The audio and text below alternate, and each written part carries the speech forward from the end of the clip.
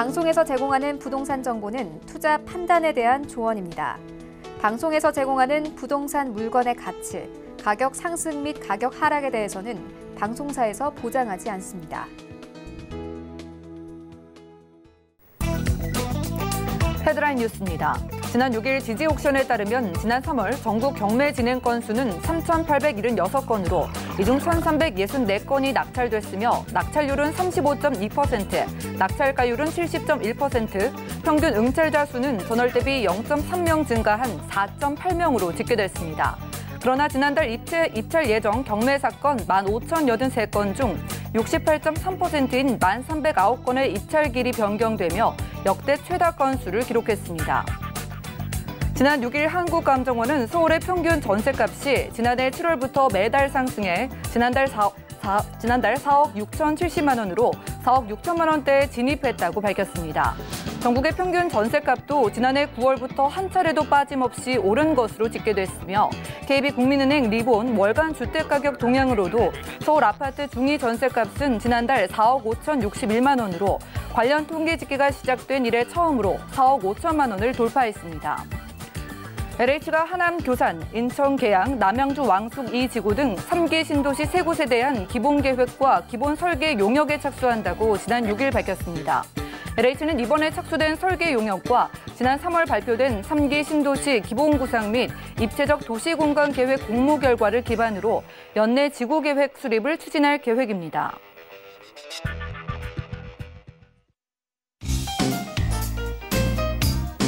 안녕하세요. 손에 잡히는 부동산 정보, 부동산 올인원의 민채합니다. 지난 3월이죠. 역대 최고의 어, 입찰길 변경 건수를 기록한 법원 경매에 오히려 응찰자 수는 크게 늘어났다고 하는데요. 사회적 거리두기 캠페인이 지속되곤 있지만 의정부, 안산, 인천 등 이렇게 수도권 지역의 아파트의 입찰은요 여전히 높은 경쟁률을 보이고 있다고 합니다. 오늘 부동산 올인원과 함께 하시면서 맞춤 투자 계획 세워보시고요. 자, 방송 중에 방송 끝난 이후에도 아래 전화번호는 많은 활용해 보시면 좋겠습니다. 우선 02-3153-2668번 전화 상담 도움드리고 있고요. 무료 문자 참여도 가능한데요. 013-3366에 0110번도 많은 이용 부탁드릴게요. 그리고 저희가 제공 해드린 정보는 전문가들의 조언일 뿐 부동산의 가치와 수익률을 보장하지 않는다는 점 꼭 기억해 주시면 좋겠고요. 그럼 힘차게 부동산 올인원 출발할게요.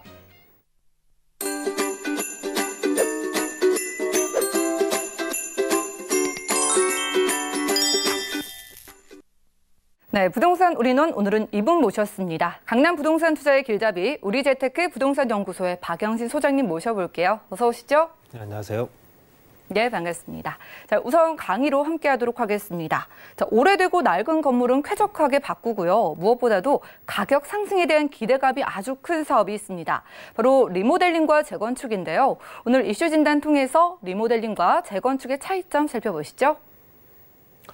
네, 재건축 재개발 사업이 이번 정부 들어서 계속 속도가 계속 늦어지고 있죠. 여러 가지 이유 때문에 또 지금 현재 7월 말에 또 예정돼 있는 분양가 상한제 이것 때문이라도 이제 분양 공고라든가 또 물건 공급이 또 차질을 빚을 수밖에 없는 상황이고요.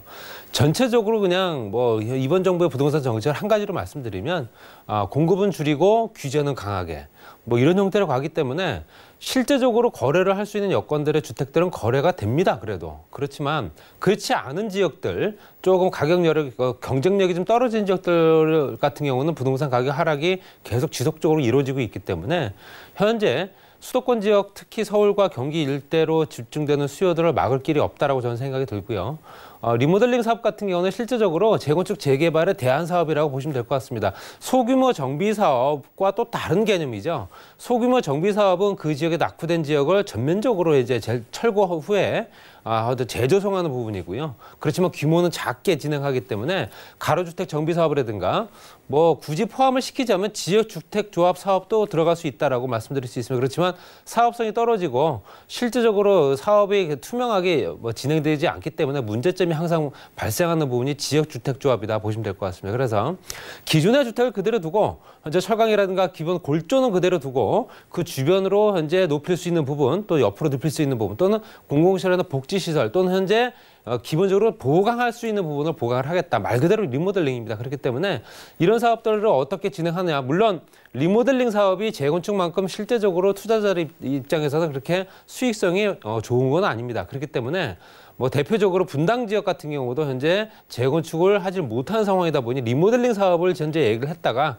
그마저도 지금 진행이 잘 안 되고 있는 상황이다 보시면 될 것 같고 그래서 리모델링과 재건축의 뭐 개별적인 차이 뭐 큰 차이는 없지만 시간적인 차이가 분명히 있다 보시면 될 것 같습니다. 그래서 국토교통부가 2013년도부터 진행돼서 2014년도부터 법으로 시행되는 부분입니다. 그래서 현재 법령 안에 들어가 있는 부분이기 때문에 실제적으로 용적률이라든가 그 지역적인 현안에 맞추어서 리모델링 사업을 할 수 있게끔 만들어 주겠다는 얘기고요. 기본적인 틀은 15년 이상 된 노후 건축물 15년 이상. 지금 현재 재건축은 30년이죠. 15년 이상 된 노후 건축물을 리모델링 할 수 있는 조건이 일차적으로는 됩니다. 그래서 연면적을 증가시키고 부대 복지 시설을 확보한 후에 어, 실제 비용을 절감하는 효과도 있기 때문에 당연히 이런 부분에 따라서 좀 매력이 있지 않는가라고 생각하시면 하실 수 있습니다. 물론 이제 전체적으로 노후화된 부분을 조금 더 보강하고 보수를 하기 때문에 좀 새 아파트 같다는 느낌을 받을 수 있으나 전체적인 큰 틀이 바뀌는 게 아니기 때문에 그만큼 실제적으로 투자자들의 어, 어떤 입맛에는 맞지 않는 상품이다 보시면 될 것 같고요. 어, 말씀드린 대로 대수선이나 일부 증축하는 것이다. 이렇게 말씀드릴 수 있습니다. 그래서 수직 증축, 수직으로 증축하는 부분이 보통 한 세개층 정도 올릴 수 있습니다. 그래서 평균이요. 기존의 층수에 한 세개층 정도 올릴 수 있기 때문에 이런 부분이 일반 분양이 가능하겠죠. 그렇지만 실제적으로 조합은 이게 조합이 결성될 수 있는 조건은 아니고요. 그렇기 때문에 당연히 그 부분에 대해서 이제 비용 부담이라든가 여러 가지 여건들 굉장히 따져봐야 된다 말씀드리고 싶고요. 아, 재건축을 비교를 해보면 리모델링은 골조가 유지가 되죠. 기본적인 틀은 그대로 가기 때문에 뭐 재건축이 당연히 완전히 철거 후에 새로운 이제 건축을 어, 하기 때문에 당연히 새로운 물건이 만들어지는 거고요. 준공 15년 이상, 재건축은 준공 30년 이상.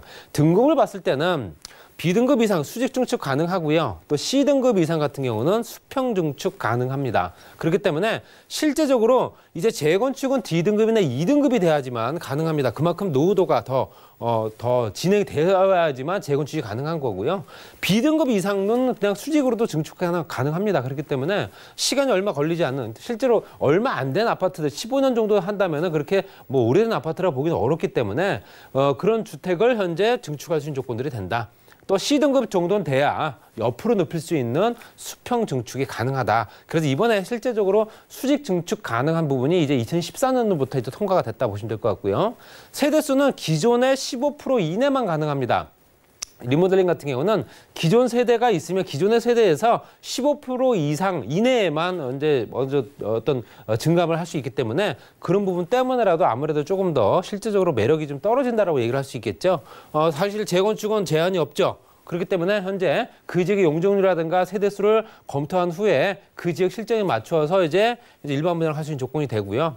리모델링 사업은 주택법이나 건축법에 해당이 되는 겁니다. 그렇지만 법령사항이 재건축 같은 경우는 도시 및 주거환경 개선, 주거환경 정비법에 들어가기 때문에 법령 자체가 지배되는 법령이 좀 다르다 보시면 될 것 같고요. 말씀드린 대로 준공 후 15년 이후 추진 가능한 부분이 리모델링, 30년 이상이 이제 재건축, 그다음에 용적률 제한이 없습니다. 리모델링 같은 경우는 그렇지만 실제적으로 세대수 증가가 15% 이내이기 때문에 뭐 용적률 제한이 있다라고 봐도 무방합니다.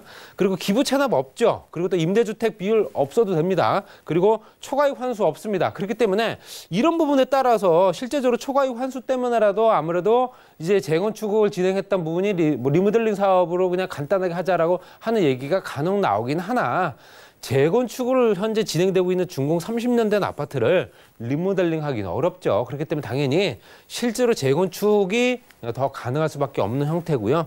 말씀드린 재건축 이렇게 임대주택부터 기부채내까지 기본적으로 여러 가지 제반 사항의 규제 사항들이 많다 보니 실제적으로 여러 가지 조건들 따지다 보니까 시간이 오래 걸릴 수밖에 없다는 얘기입니다. 그런 부분도 한번 참고해 보시고요.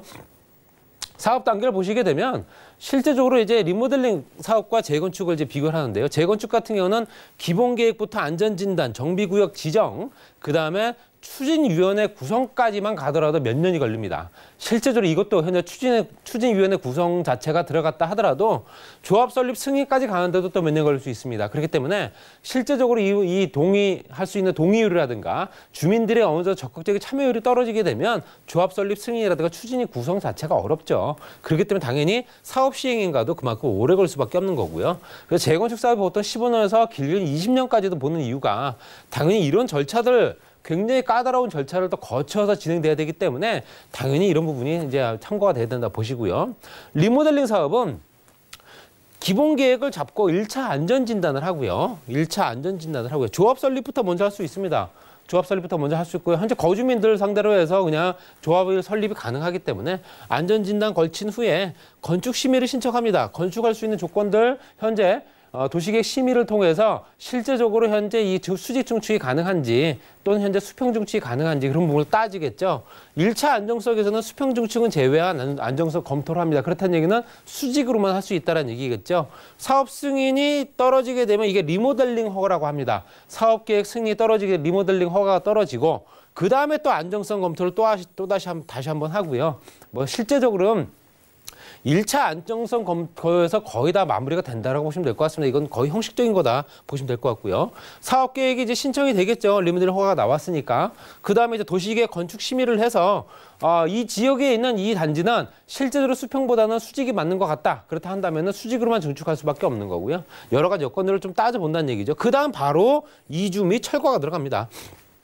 철거라는 건 별도로 뭐 철거할 게 따로 없지만 기본적인 골정 그대로 두고 부속적인 부분을 조금 더 넓힐 수 있는 부분은 손을 대야겠죠. 그렇기 때문에 당연히 철거도 들어간다. 그 다음에 2차 안전진단 수직 증축 제외한 후에 착공이 들어간다. 굉장히 간단하기 때문에 실제적으로 이런 사업 속도가 빠를 수밖에 없고요. 그만큼 또 비용도 절감되는 효과가 있다. 뭐 조합원 입장에서는 재건축만큼은 아니지만 그래도 인기 단지나 아니면은 인기 지역 또 현재 수요가 집중된 지역 같은 경우는 그래도 괜찮지 않겠냐. 강남 3구 지역 중심으로 해서 현재 리모델링 사업 지, 진행된다면 아무래도 돈은 좀 될 수 있다라고 생각하는 부분도 좀 있- 있지 않을까 말씀드리고 싶고요. 아, 리모델링 사업에 준수 사항이 있습니다. 공익의 이익을 저해하지 않아야 되고요.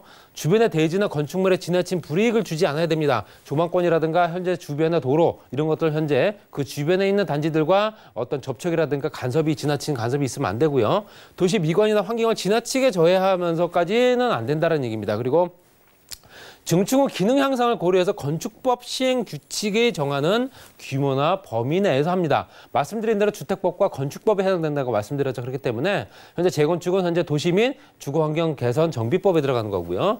공동주택 리모델링은 복리시설을 분양하기 위한 것이 아니어야 된다라는 내용이 들어가 있습니다. 복리시설을 만들기 위해서 현재 어, 리모델링 사업을 진행하는 어떤 단지는 없다라고 저는 보고 있습니다.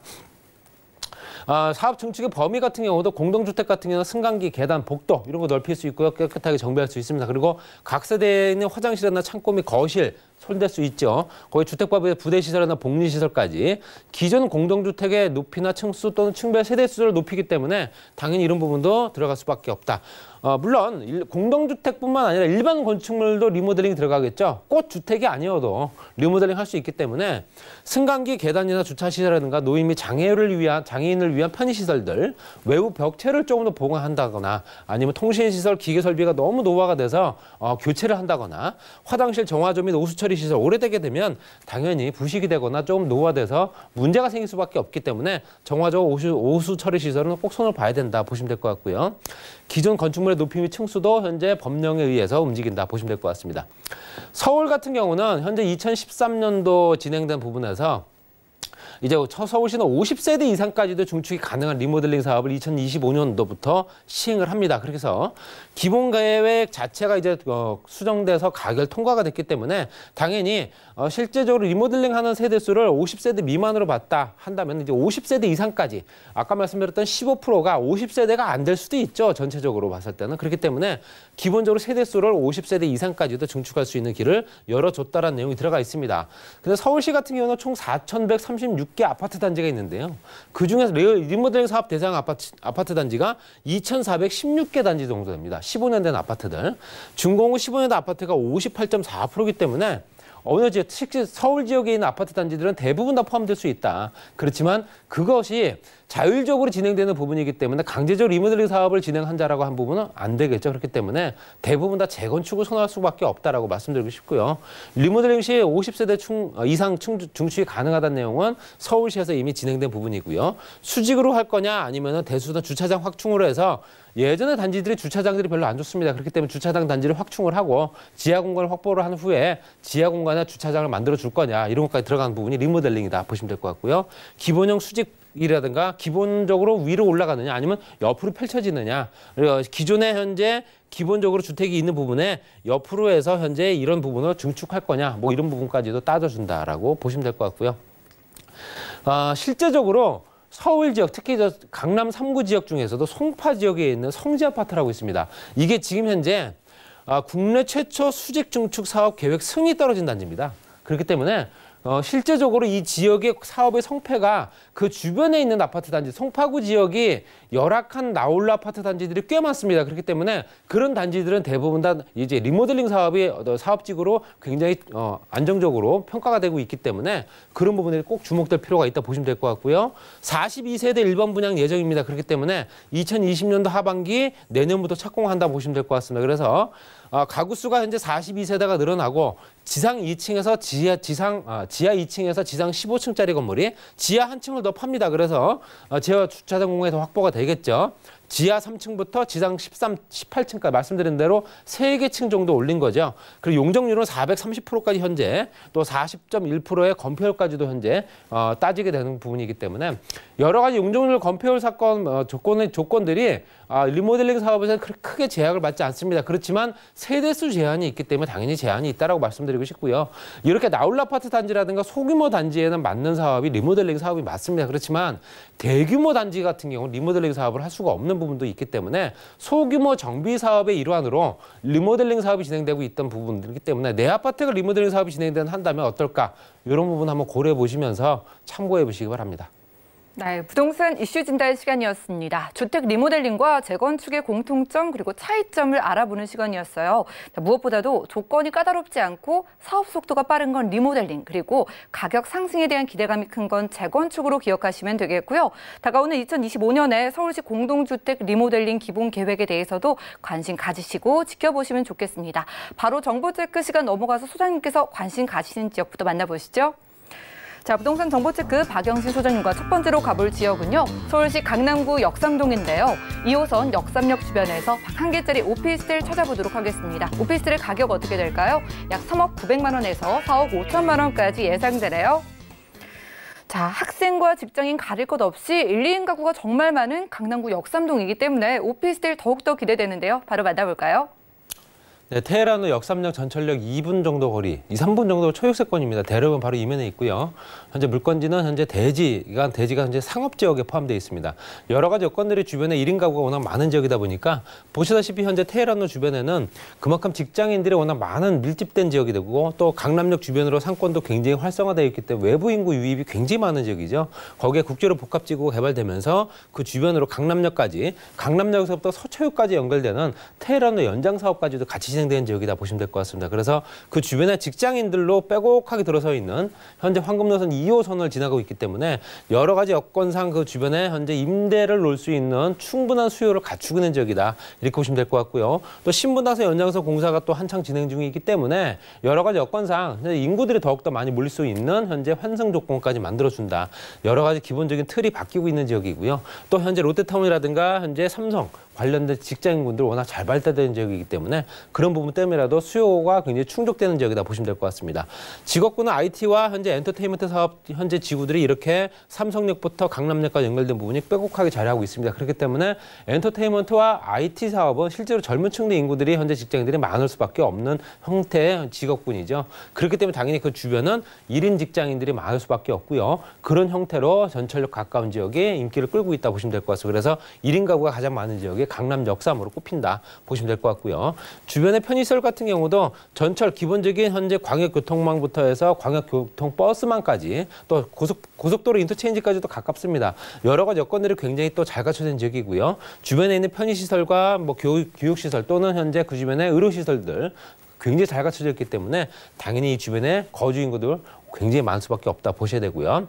그로 인해서 그 주변에 오피스텔인데도 불구하고 가격이 오르고 있습니다. 그래서 예전에 그 주변에 있는 단지들의 현재 어, 시세를 현재 그래프로 보여드리는 거고요. 봤을 때도 수직으로 현재 올라가고 있는 거 보실 수 있죠. 보합 후 계속 떨어진 적이 한 번도 없습니다. 떨어진 적이 없이 계속 올라가고 있기 때문에 강남 지역의 현재 그래프를 그대로 보여주고 있다 보시면 될 것 같고요. 여러 가지 여건들이 개선되면서 그 주변에 르네상스 호텔까지도 복합 부지로 개발이 되고 업무와 숙박 시설이 같이 만들어지기 때문에 예전에 없었던 업무 시설까지 확충이 되기 때문에 당연히 직장인 구성들이 그만큼 더욱더 많이 포진을 한다. 이것들이 이 주변을 또 굉장히 활성화시킬 수밖에 없다라고 말씀드릴 수 있습니다. 그리고 잠실 종합운동장부터 해서 현재 무역산타 또 지하공간 개발부터 현대자동차까지 연결되는 부분이 통합개발 어, 서울시에서는 가장 큰 면적의 대단히 개발이고요.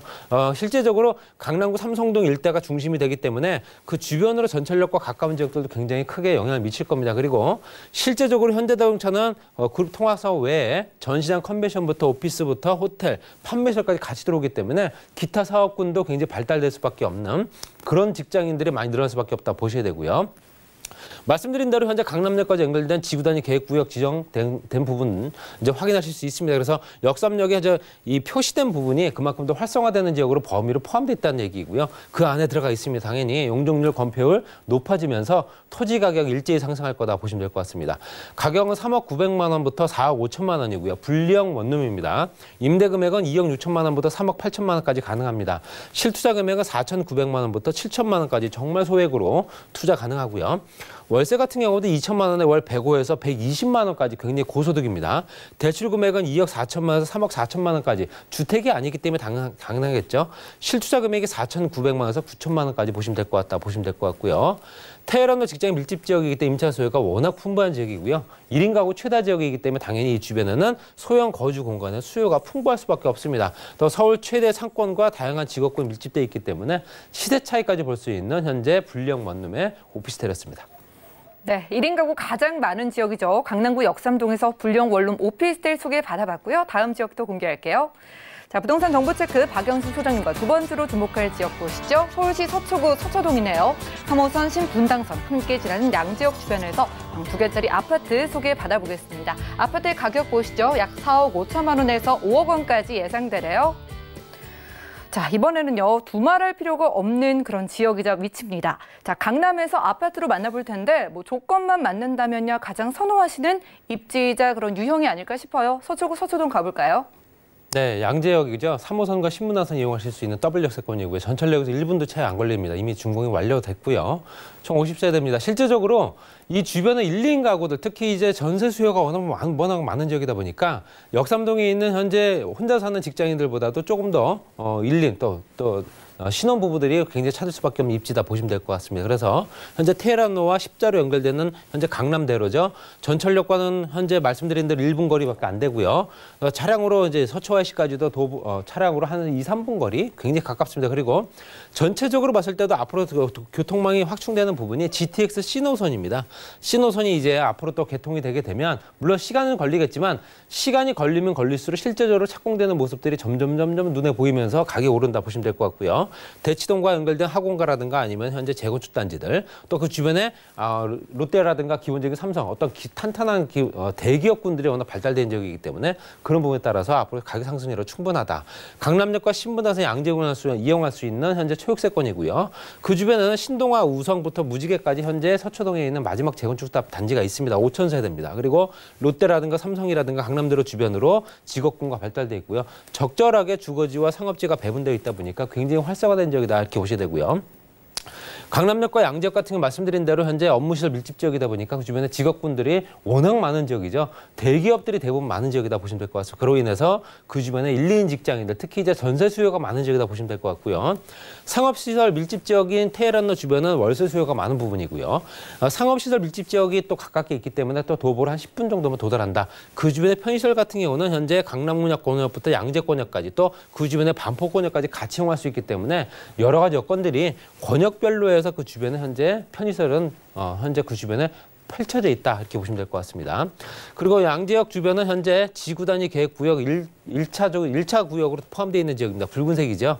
양지역이 현재 지구 단위 계획 구역 중심 지역이 된다 보시면 될 것 같고요. 이 주변은 실제적으로 영종률 건폐율 높이 상향되면서 업무 시설과 현재 어, 어, 현재 일반 직장인들 들어서는 사무 공간들이 늘어나고 있는 지역이다 보시면 될 것 같습니다. 그래서 한참 공사가 진행 중이다. 또 서초구청도 현재 복합 단지로 개발되면서 그 주변이 이제 앞으로 활성화가 될수 있는 조건들이 충분히 만들어지고 있다 보시면 될 것 같습니다. 또 아래쪽에 있는 양재IC 주변은 현재 서초구에서 가장 큰 면적의 개발 면적입니다. 국공유지를 활용을 해서 그 주변 현재 KT와 삼성, LG부터 현대까지 연구원 단지, 거기에 또 중소기업까지 연결되는 중소기업 위성 단지까지 연결되고요. 또 화물 터미널 중심으로 해서 유통 단지까지 같이 만들어지기 때문에 생산 유발 효과라든가 고용 창출 효과가 엄청날 수밖에 없다 보시면 될 것 같습니다. 현재 한창 진행 중인 지역이기 때문에 그 부분도 한, 한번 눈여겨보실 필요 있습니다. 또 GTX 신호선은 말씀드린 대로 어, 현재 착공은 아직 되지는 않았지만 개통은 언제쯤 할 거다라는 얘기가 나오고 있습니다. 그렇기 때문에 당연히 보상 절차가 들어가고 있는 지역, 삼성역에서 다음역이 양재역이죠. 여러 가지 여건들이 개선되고 있기 때문에 전철 어, 광역교통망 특히 이제 이런 광역 급행철도 같은 경우는 실제적으로 개통되기 전이 가장 많이 오를 거다 보시면 될 것 같습니다. 그래서 투자는 바로 지금이다 말씀드리고 싶고요. 가격은 4억 5천만 원부터 5억 원 정도 정말 볼 수 없는 가격입니다. 강남 지역에는 이 정도 가격이 현재 전세 시세밖에 안 되죠. 임대 금액은 3억 6천만 원부터 3억 9천만 원 정도, 어, 실투자 금액은 9천만 원에서 1억 1천만 원 정도 굉장히 소액으로 가능합니다. 또 월세 같은 경우도 가능합니다. 3천만 원 보증금에 월 120에서 140만 원 정도 보시면 될 것 같고요. 대출 가능 금액은 1억 8천만 원에서 2억 원 정도 활용하시면 투자 금액은 좀 커지겠죠. 2억 4천만 원부터 2억 7천만 원까지 보시면 될 것 같다. 이렇게 말씀드리고요. 전체적으로 강남대로와 연결된 또 테헤란과 연결된 부분이기 때문에 직장군이 밀집된 지역이기 때문에 임차 수요가 굉장히 풍부한 지역이다. 실제적으로 임대가 굉장히 끊이지 않고 연결되는 지역이다 보시면 될 것 같고요. 역세권 개발 사업 때문에도 투자 가치가 상승하고 임대료가 워낙 높기 때문에 당연히 고수익률은 보장이 됩니다. 그리고 초역세권이면서 환승역, 3호선과 신분당선 연결되기 때문에 이런 부분은 향후에 투자 가치가 굉장히 높아지는 양재 역세권 지구단위 계획 구역 안에 들어가 있는 투룸 아파트였습니다. 네, 바로 지금이 강남 지역의 투자의 적기다라고 소개해 주셨습니다. 서초구 서초동에서 투룸 아파트 만나봤고요. 자, 그리고 올해 정말 부동산 투자 잘 해보고 싶으신 분들을 위해서 일대일 전화 무료 상담이 준비되어 있습니다.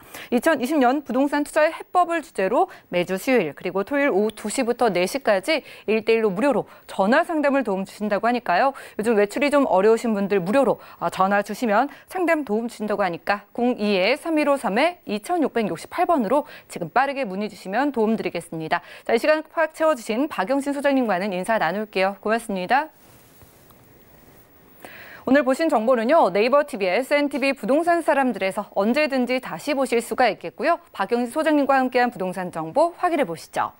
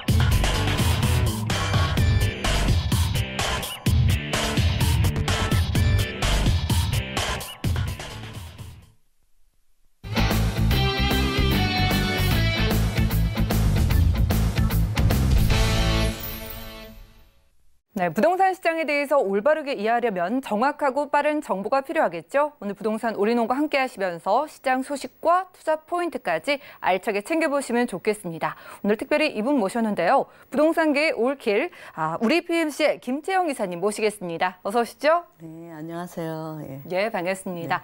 또 오늘 김채영 이사님과 함께 두 지역을 가볼 텐데 어떤 부동산 투자하면 좋을지 간단하게 소개 부탁드릴까요? 네, 오늘은 여러분들이 그 투자처 어, 마용성, 마포와 또 강남구에서도 강남구에 위치한 역삼동 복층 오피스텔을 준비했습니다. 여러분들이 아, 이렇게 투자 선호도가 높은 곳을 제가 선별해서 준비했는데 여러분들이 간혹 그러더라고요. 그런 곳은 투자금이 많이 들지 않나요?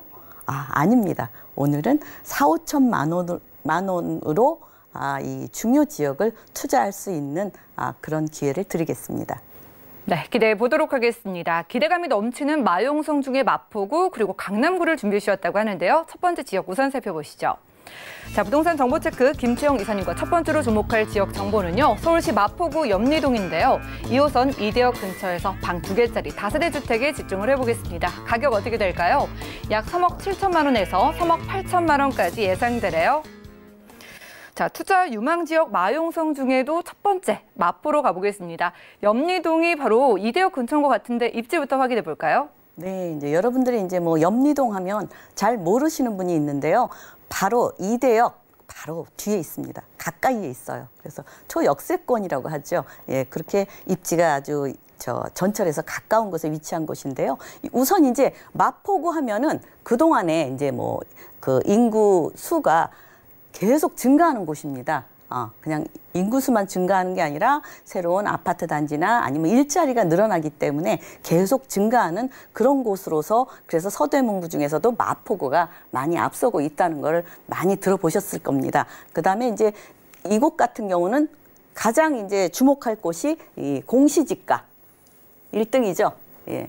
공시지가가 가장 많이 오른 지역입니다. 그래서 여러분들이 투자처로 많이 꼽고 있죠. 그래서 이곳 같은 경우는 뭐 홍대 상권이라든지 상수동, 서교동, 동교동 이런 상권도 많이 활성화되어 있고요. 또 이태원동, 한남동, 이태원 상권도 아, 우리가 많이 알려진 그런 곳에 위치한 곳입니다. 가까이 위치해 있죠. 그래서 많이 눈여겨보는 곳이고요. 우선 이곳은 이대이대역 아, 이대역의 초역세권 바로 이 대역 바로 가까이에 있습니다. 그래서 뭐 1분 어, 안에 30초 뭐 이렇게 얘기도 하는데 아 직접 이제 와서 보시면 더 확인이 가능하고요. 이곳은 우선 이쪽에 홍대 상권과 이쪽에 이 일자리 많이 있죠. 예, 연세대 이화여대, 서강대 아주 명문 대학교도 있고 또 여의도와의 접근성도 가깝고 또 이제 이 용산은 아주 가깝죠. 숙명여대. 그래서 이쪽 마포 지역은 사람들이 한번 이렇게 살게 되면은 뭐 아이들 있는 분은 보통 한 12년은 산다고 하더라고요. 왜? 초중고. 여기는 제가 보기에 마포는 더 살 것 같아요. 한 17년 살 것 같아요. 17년, 18년. 왜? 명문대가 있잖아요. 그래서 이런 곳이 앞으로 계속 어, 가치가 올라가는 쪽에 있는 곳이고요. 우선 이제 상권도 여기 홍대거리 상권 유명하죠. 또 신촌 상권, 신촌 이대 상권, 공덕 업무지, 또 이제 서울 역세권 개발까지 있고 가장 중요한 거는 이제 저 아현 뉴타운이 지금 18,500가구가 지금 어, 입주 앞으로 어, 2020년까지 어, 들어올 예정이고요. 또 지금 염리동에 있는 이 다세대 주택 같은 경우는 제4구역, 염리 4구역 해제 지역입니다. 왜? 해제 지역은 또 다시 또 어, 뉴타운으로 지정될 수도 있기 때문에 그렇게 미래, 미래에 어, 아파트를 받을 수 있는 기대 심리까지 어, 기대까지 아, 할 수 있는 그런 지역이고요. 어, 이곳에는 이제 그런 지역들이기 때문에 개발 호재도 여러 가지가 있겠습니다. 네, 공식 지표로 걸 수 있는 공시지가가 서울에서 가장 많이 오른 지역이라고 하니까 지가도 앞으로 상승할 기대감을 안고 있는 지역이에요. 지가가 오른다는 건 그만큼 기대할 만한 호재가 많다는 얘기일 텐데 호재 어떤 거 만나볼까요? 네, 일단은 이제 세계에서도 주목하고 있는 지하에 가장 지하 발전소가 이제 건립이 될 예정인데요. 근데 지하에는 가장 큰 지하 발전소가 들어오면서 또 지상에는 이렇게 공원화 공원으로 이렇게 되고 있기 때문에 모든 지금 전 세계에서 많이 주목하고 있고요. 우리나라 선진국 맞습니다. 이렇게 선진국에서 이렇게 지하화의 발, 지하 발전소를 크게 건설할 수 있는 거죠. 그래서 이 앞으로 이 쾌적하게 이 마포구는 또 다른 어, 그 녹지나 뭐 여러 가지 한강을 끼고 있으면서 이렇게 공원까지 갖춰지는 그런 또 발전이 예측이 되고 있고요.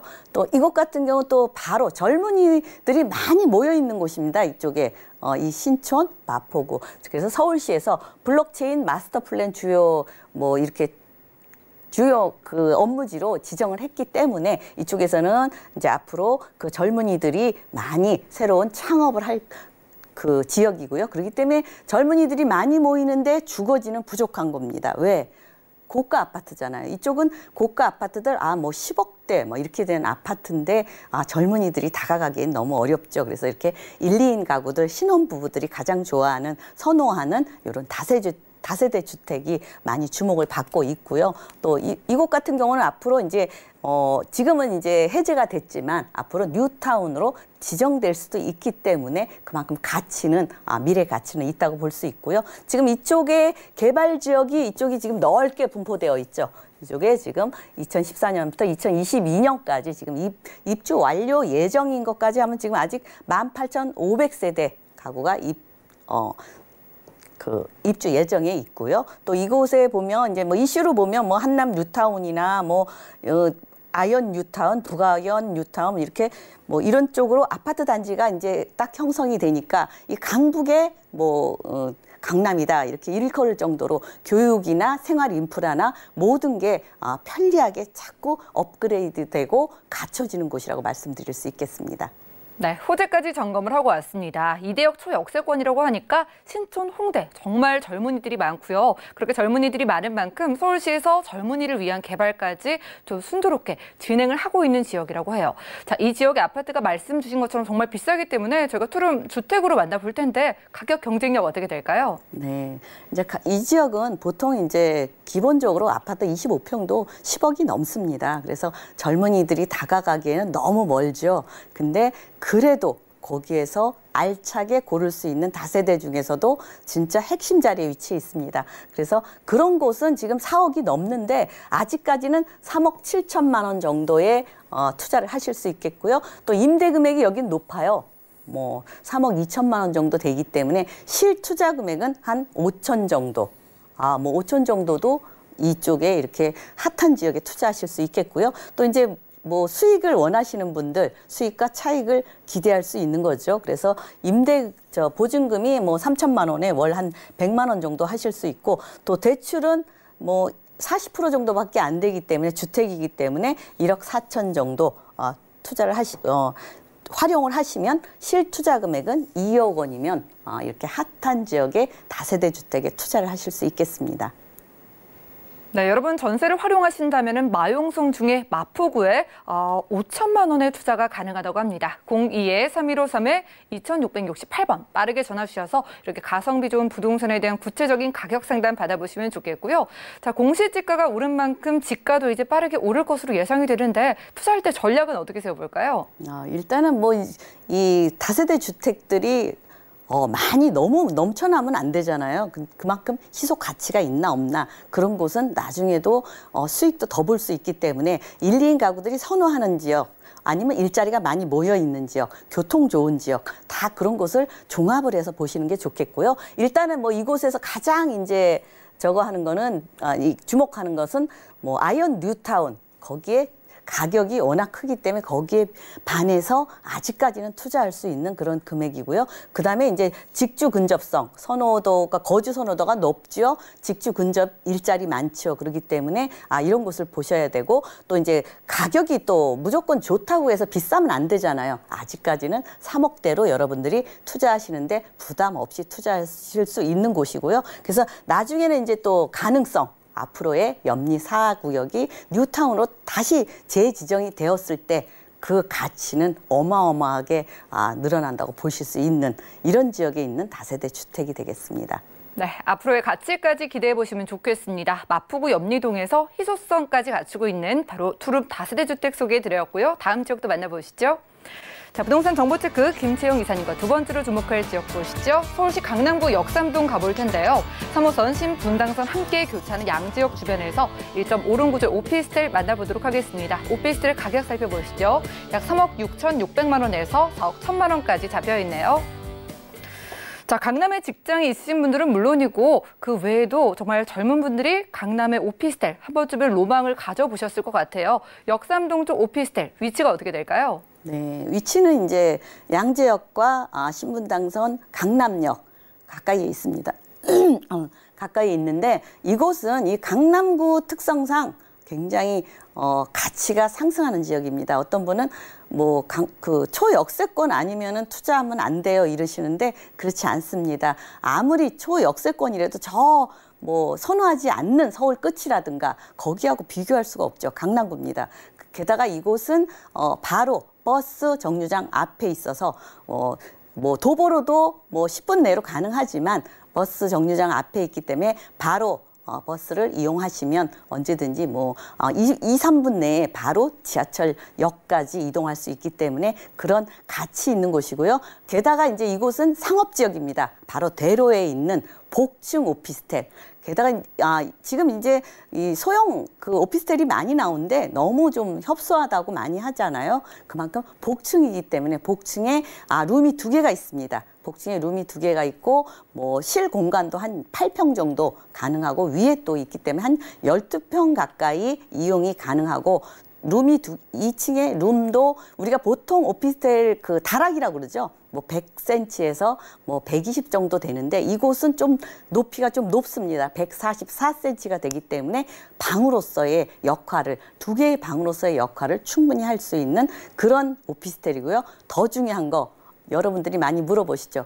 언제 지어지나요? 아, 오늘 준비한 건 다 지어졌습니다. 그래서 바로 입주가 가능한 그런 오피스텔이고요. 우선 이제 중요한 곳은 이곳은 이제 신분 당선이 있는 곳입니다. 이곳입니다. 그래서 양지역과 신분당선을 충분히 이용하실 수 있고 이곳의 교통망이라는 것은 강남구 일자리 많이 있죠. 생활 편리하죠.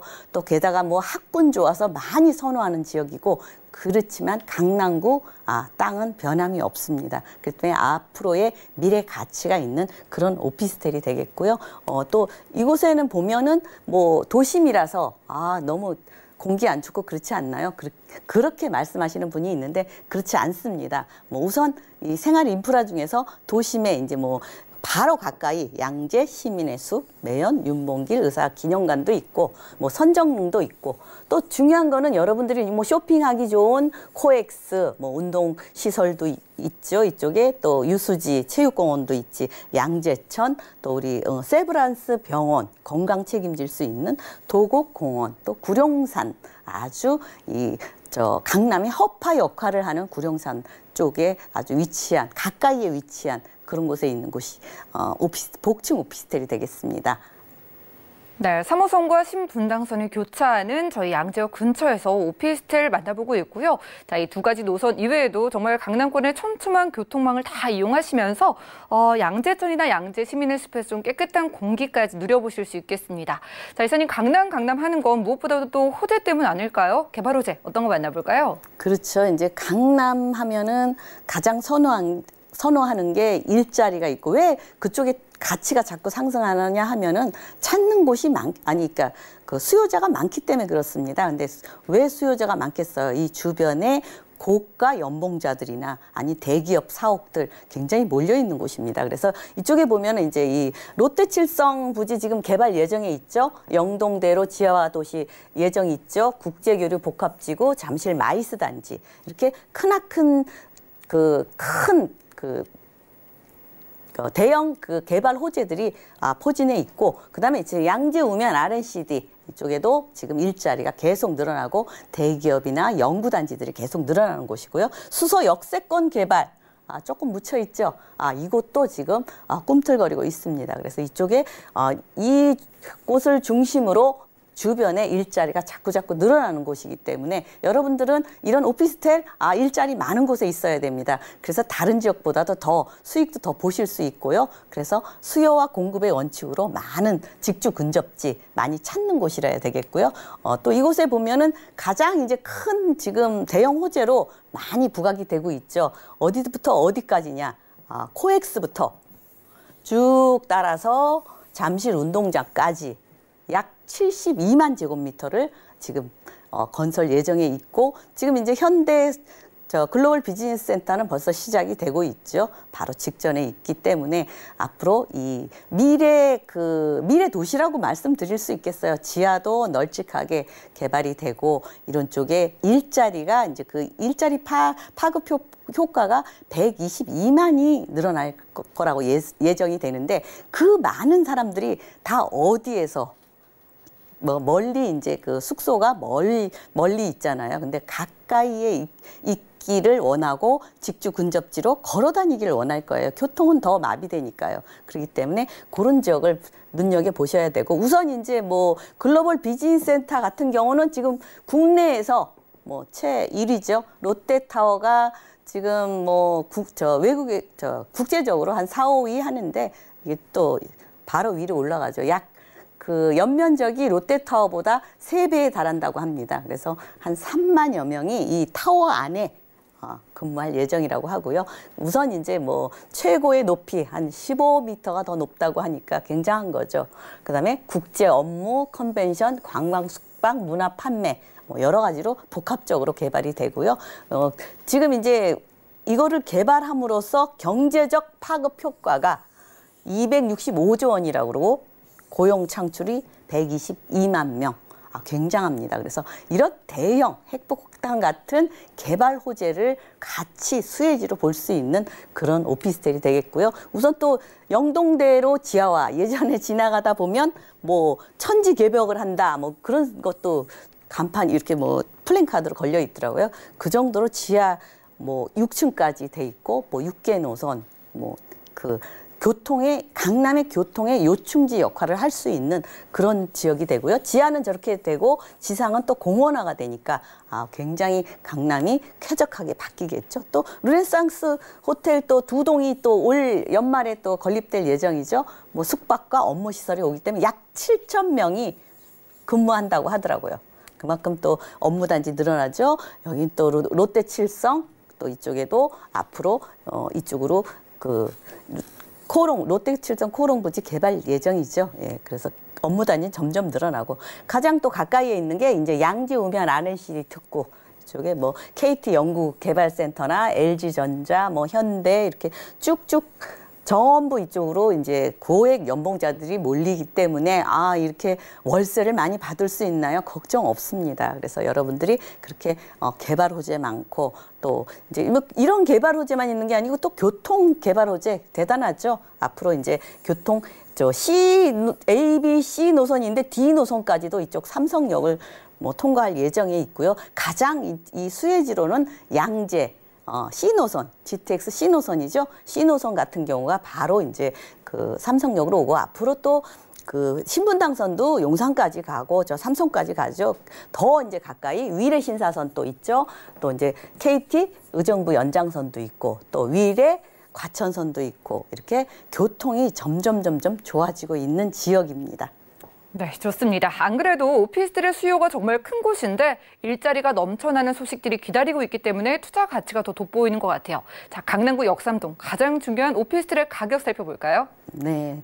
이렇게 복층 구조의 방이 위에 복층에 룸이 두 개가 있는데 이 정도 금액이면 굉장히 가성비 있는 금액입니다. 3억 6천6백만 원에서 4억 1천만 원까지 형성되어 있고요. 우선 이제 임대 금액을 활용하시면 전세 금액이죠. 실투자 금액은 아, 가장 뭐 요즘 나오는 것 중에서 강남에 투자하는 저금액이죠. 3,600만 원에서 6천만 원이면 아, 이런 똘똘한 오피스텔 투자를 하실 수 있겠고요. 임대 금액은 월 2천만 원 보증금에 월 한 130만 원 정도 받으실 수 있습니다. 그래서 대출 이곳은 완전히 준공이 됐기 때문에 대출도 조금 더 받을 수 있습니다. 그래서 대출을 2억 6천만 원에서 2억 9천만 원 활용하시면 어, 월세를 하시면서도 1, 1억이 1억 안쪽으로 8억 6천에서 1억 원이면 아, 투자를 하실 수 있는 아주 똘똘한 강남구에 있는 역삼동 복층 오피스텔이 되겠습니다.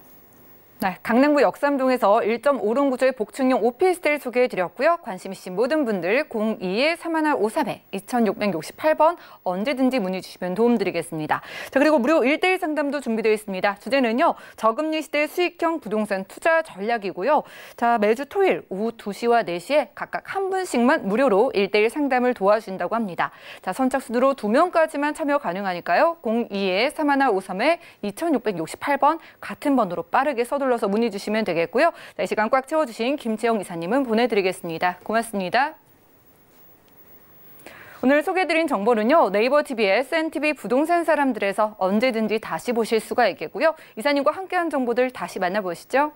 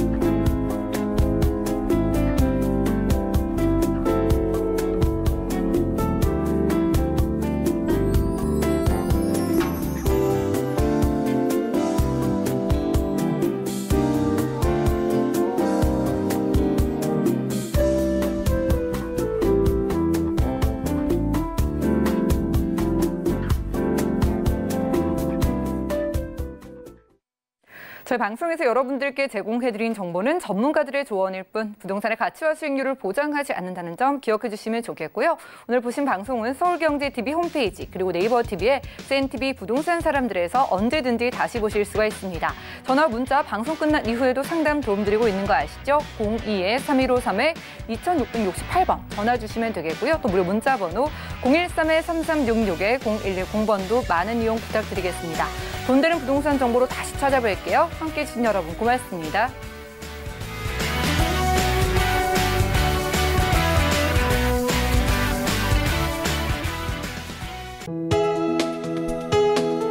본 방송에서 제공하는 부동산 정보는 투자 판단에 대한 조언입니다. 방송에서 제공하는 부동산 물건의 가치, 가격 상승 및 가격 하락에 대해서는 방송사에서 보장하지 않습니다.